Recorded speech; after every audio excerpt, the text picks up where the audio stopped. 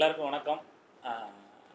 எங்களோட தப்பாட்டம் திரைப்படத்தோட போஸ்டரை பகிர்ந்த மரியாதைக்குரிய எலன் மஸ்க் அவர்களுக்கும் எலன் மஸ்க் பகிர்ற அளவுக்கு அவர்கிட்ட இந்த போஸ்டரை மீம்ஸ் மூலமாக கொண்டு போய் சேர்த்த சமூக வலைதளங்கள் ஊடகங்கள் பத்திரிகைகள் அத்தனை பேருக்கும் இந்த நேரத்தில் எங்களோட நன்றி. இந்த தப்பாட்டம் திரைப்படம் வந்து ரெண்டாயிரத்தி பதினேழில் ரிலீஸ் ஆனிச்சு. அது ஒரு சிறிய முதலீட்டு படமாக இருந்தாலும் அது அப்போதைக்கு ஒரு சிறிய லெவலில் தேட்டர் கிடச்சி ரிலீஸ் ஆகி ஓடி அது கிட்டத்தட்ட அதை அதை பற்றி கடந்து போய் அடுத்தடுத்த படங்களுக்கு நாங்கள் வந்துட்டோம். இதில் இப்போ இந்த ப்ரெஸ் மீட்லாம் எதுக்கு அப்படின்னாக்க இது நாங்களும் இந்த தா- துறை சார்ந்து அடுத்தடுத்த கட்டங்களுக்கு போயிட்டுருக்கப்ப எங்கள் படம் சார்ந்து இப்போ என்ன சில படங்களுக்கெல்லாம் பத்து வருஷத்துக்கு ஒரு தடவை இப்போ பத்தாவது வருடம்ட்டு ஒரு விழா கொண்டாடுறாங்க. பதினஞ்சாவது வருடம்ட்டு ஒரு விழா கொண்டாடுறாங்க. அந்த மாதிரி நினச்சி தான் எங்களுக்கு இது ஒரு ரீஎன்ட்ரி மாதிரி ஏறத்தாழ ஒரு ஆறு ஏழு ஆண்டுகளுக்கு பிறகு இது ஒரு அந்த எலன் மாஸ்க் அவர்கள் கொண்ட ட்விட்னால எங்களோட படம் இப்போ உலக லெவலில் ஒரு ட்ரெண்ட் ஆகிட்டு இருக்கு அந்த சந்தோஷத்தை பகிர்ந்துக்கிற விதமாக தான் இப்போ நாங்கள் உங்கள்கிட்ட மீட் பண்ணி பேசிக்கிட்டு இருக்கோம். வேறு ஏதாவது யார்?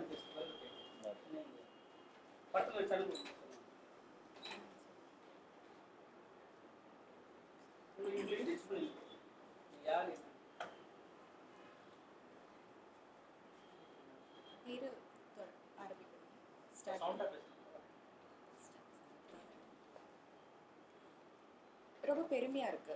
இந்த இலோனஸ்க்கு வந்து எங்களோட படத்தோட அந்த போஸ்டர் வந்து எல்லாரும் கிண்டல் பண்ணாங்க.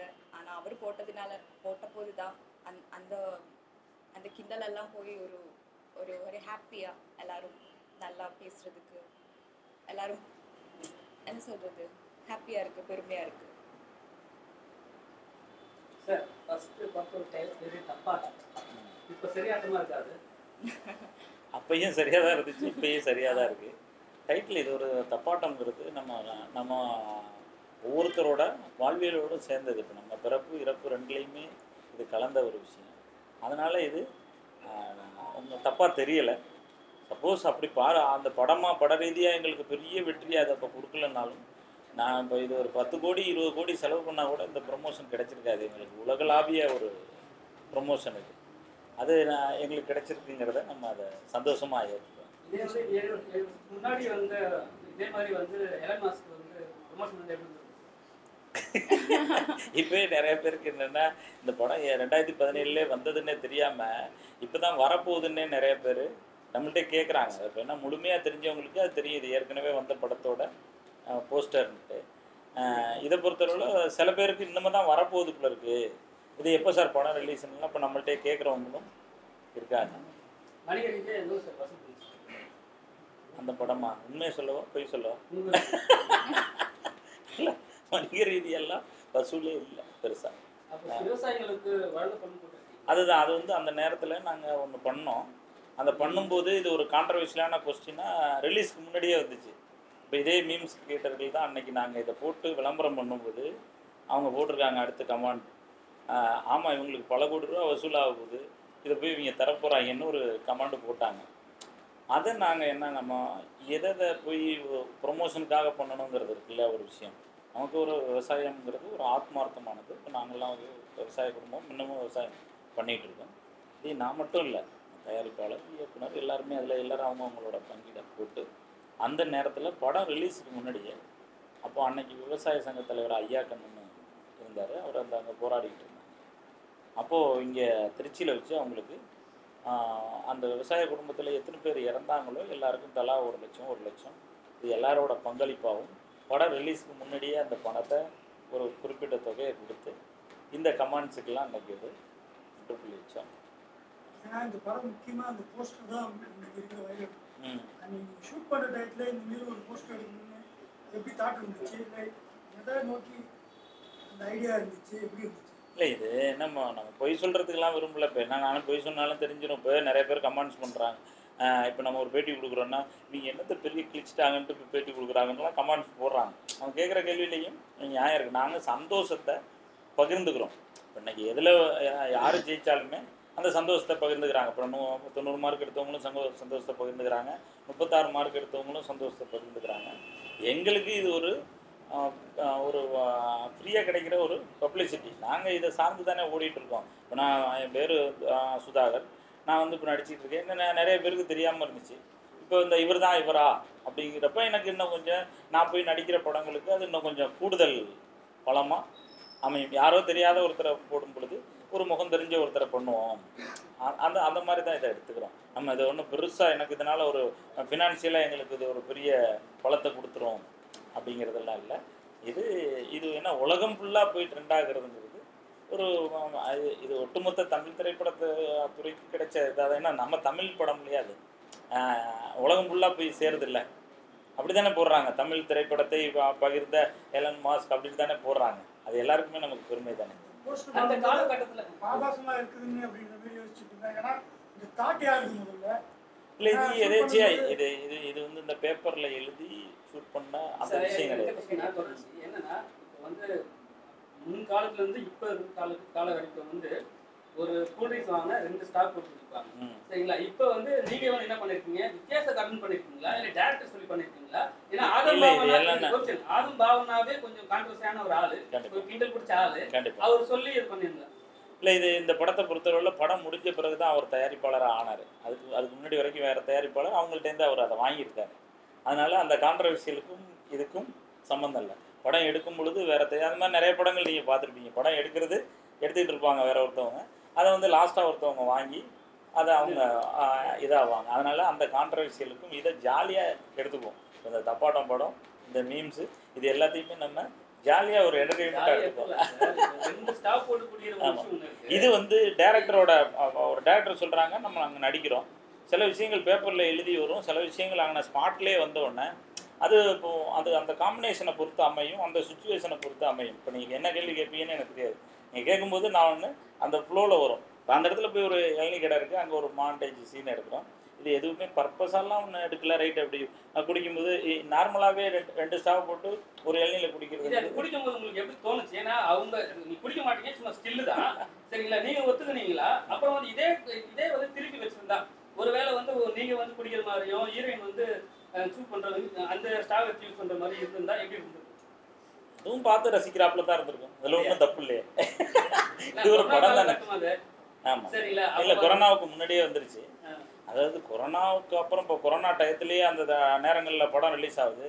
அப்போ கொரோனா வந்த டைமில் யாரும் ஒருத்தர் ஒருத்தர் பார்த்துக்கவே கூடாது. அப்போ படம் ரிலீஸ் ஆகிறப்ப பார்த்துக்கிறாங்க. ஒரே வீட்டில் தானே இருக்காங்க லவ் பண்ணுறாங்க காலேஜுக்கு போகிறாங்க அது அந்த காலகட்டத்துக்கு இன்னும் படம் எடுக்கல அது.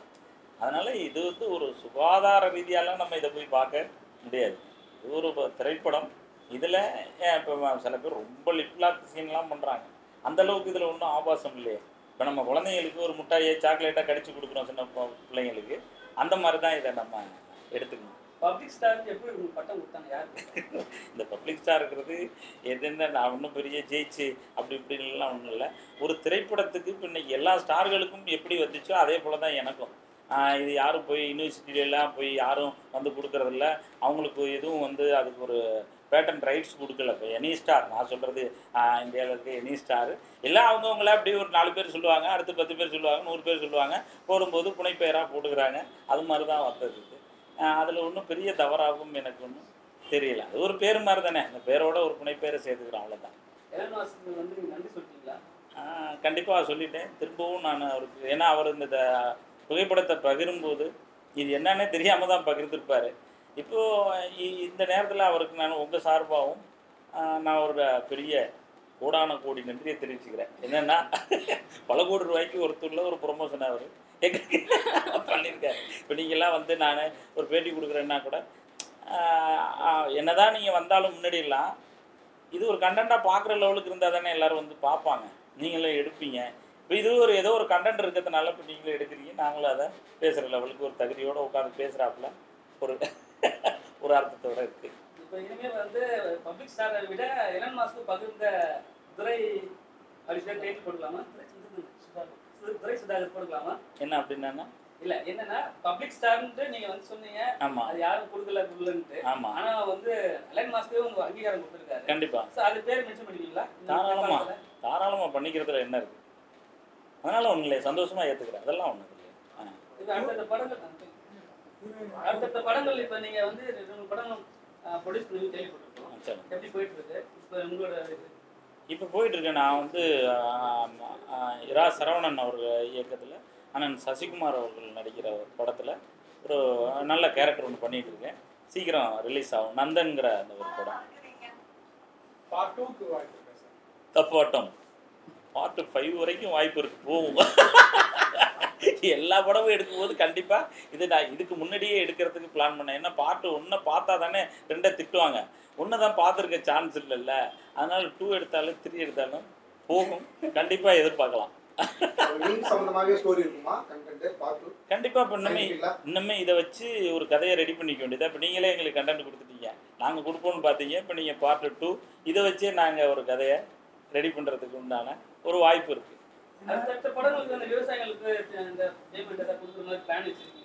அந்த விவசாயிகள் என்ன இப்போ இதை வந்து நம்ம ஜாலியாக பேசுகிற விஷயம் விவசாயிகளுக்கு ஆத்மார்த்தமாக என்னை போல நிறைய பேர் பண்ணிகிட்டு இருக்காங்க இன்னும் பண்ணிகிட்டு இருக்கோம். அதே இதையும் நம்ம அன்னைக்கு இருந்த காலகட்டங்கள் அன்னைக்கு அவங்க போராடினாங்க அன்னைக்கு இதில் எங்களுக்கு நான் இப்போ ஒரு அஞ்சு லட்சம் கிடைச்சாலும் அந்த அஞ்சு லட்சத்தை அவர்கிட்ட அவங்கள்ட்ட கொடுத்துருவோம். ஒரு பத்து லட்சம் கிடைச்சாலும் அதில் கொடுத்துருவோம். ஒரு படம்னா ஒரு அஞ்சு லட்சம் பத்து லட்சம் வரும் இல்லையா? இதை கொடுக்குறோன்னு நினைக்கிறது ஒன்றும் தப்பு இல்லை. அதனால் அதை வந்து இதாக பேச வேண்டியதில்லை கண்டிப்பாக இன்னும் பண்ணிக்கிட்டு தான் இருக்கும்.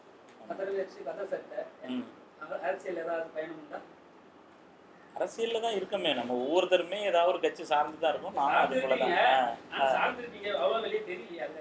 இல்ல சில பேர் இல்ல இல்ல அதெல்லாம் அது இது வந்து நம்ம ஒரு திரைப்படம் சார்ந்த ஒரு ஆமா ஆமா. அரசியல் கேட்கிறேன் இல்ல அரசியலுக்கு தனியா நம்ம ஒரு ப்ரெஸ் மீட் வச்சு பேசிக்குவோம். நானும் அரசியல்ல தான் இருக்கேன். அது- அது இந்த களம் இல்லை. இப்போ பேசுறதுக்கு உண்டான களம். சரி அந்த அந்த சீன்ஸ்ல எப்படி இருந்தது? அவர் வந்து நீங்க ஸ்டாப் உறிஞ்சிக்கிறீங்க. சார் வந்து பக்கத்துல வந்து back body back body something அரை நிர்வாகம் தான் ஸ்டாப் விட்டுறாரு. அது எப்படி இருந்தது உங்களுக்கு? ஆர்டிஸ்டா தானே நாங்க அதை பண்ணோம். நான் இல்லைன்னு சொல்லல. எல்லாருக்குமே ஆர்டிஸ்ட் தான். என்ன என்ன காசு கொடுக்க போறோம் நடிக்க போறீங்க. ஆனா அது ரியலா அதுல வரல. நாங்க சும்மா டெமோ தான் காட்டணும். சும்மா வச்சோம். சரி இப்போ அலன் மாஸ்கோ வந்து உங்க போட்டோவும் ஷேர் போட்டோவும் பகிர்ந்துட்டாங்க. உங்க போட்டோ பார்த்து உங்க ஃப்ரெண்ட் சர்க்கிள்ல என்ன சொன்னாங்க? ஏன்னா அது வந்து உலக அளவிலே பேசப்பட்ட ஒரு புகைப்படம். அது அது நான் முன்னாடி சொன்ன மாதிரி முன்னாடி எல்லாம் கிண்டல் பண்ணாங்க. இந்த போஸ்டர் பார்த்துட்டு. ஆனா இப்போ யாரு கிண்டல் பண்ணாங்க? அதாவது கமெண்ட்ஸ் வரும். இப்போ என்னன்னா நெகட்டிவ் கமெண்ட்ஸ் வரும். இப்போ கமெண்ட்ஸ் வேற கிண்டல் வேற. கிண்டல்லாம் இப்போ ஃப்ரெண்ட்ஸ் பண்ணுவாங்க. இல்ல இல்ல அதை சொல்ற விதம் வந்து சொல்ல தெரியாம சொல்றது தான். கிண்டல் தானே பண்ணுவாங்க. அதாவது- வெளிநாட்டுல வெளியூர் வெளியில இருக்கிறவங்க நம்மள கிண்டல் பண்ண மாட்டாங்க. அதாவது இப்போ எப்படின்னா இப்போ நம்ம இந்த ஒரு பழமொழி இருக்கும். இந்த ஏழை சொன்னா எடுபடாது அப்படின்னு ஒரு பழமொழி இருக்கும். யார் சொல்கிறாங்கிறத பொறுத்து. இது ஒரு சாதாரணமாக இதை வந்து பார்க்கும்போது ஒரு ஆபாசமாக தெரிகிறாப்புல எல்லார் பார்வையிலையும் பட்டது. இப்போ ஒரு பெரிய ஆள் அதை பண்ணும் பொழுது அதையே நம்மளை நெகட்டிவாக பேசின சில பேர் இணையாது இப்படி இருக்கு? அப்படிங்கிறவங்க இப்போ இந்த அளவுக்கு போன பிறகு பரவாயில்லையே தம்பி நல்ல பெரிய லெவலில் ரீச் ஆகிருக்கீங்க அப்படிங்கிறாங்க. அதனால இதை நம்ம பார்க்குற பார்வையில் இதில் ஒன்றும் ஆபாசம் இல்லை. இதில் ஒன்றும் கட்டி பிடிக்கல எதுவும் பண்ணலை எதுவுமே பண்ணலை. ஒரு டிஸ்டன்ஸோட தான் ஒரு இது பண்ணுறோம் அதனால் இதில் ஒன்றும் ஆபாசமாக தெரியல. அவரோட தாட்டு அவரோட கண்டென்ட் கரெக்டாக இதில் இருக்குது எலோன் மஸ்கோட அதனால அவர் இது யூஸ் பண்ணியிருக்காங்க. அது எங்களுக்கு ரொம்ப பெருமையாக இருக்கு. சரி ஏழு வருஷம் முன்னாடி பண்ண ஒரு விஷயத்தை திருப்பி ஒன்று பண்ணலாமா? அதுதான் பண்ணியாச்சு. வேற ஏதாவது இருந்தா